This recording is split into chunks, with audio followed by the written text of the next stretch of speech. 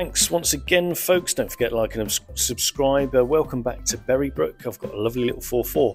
I love 4.4s. Those of you who've watched my videos before know that uh, I really like them. A couple of nice additions on the front end of this. You've got badge bar spotlights uh, and the bumper. You've also got uh, wire wheels on here as well. They are painted, but uh, don't let that take it away from it. Look at it. They look absolutely brilliant. Now, also just wanted to show you the engine bay on uh, this car. It looks fantastic. Look at this. There's a little 1.6 Kent Crossflow engine, Weber carbs on here as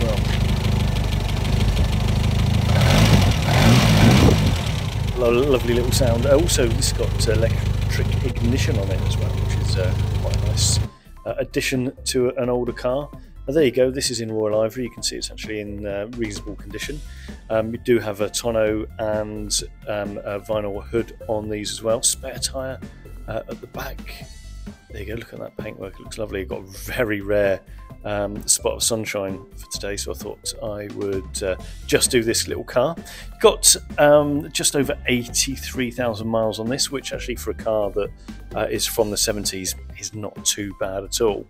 Um, well worth having uh, a look at, uh, well worth having a drive of uh, as well. Uh, like all the cars, if you uh, are interested in anything that we do, uh, please email me or give me a ring or pop in and see me. Cheers, folks.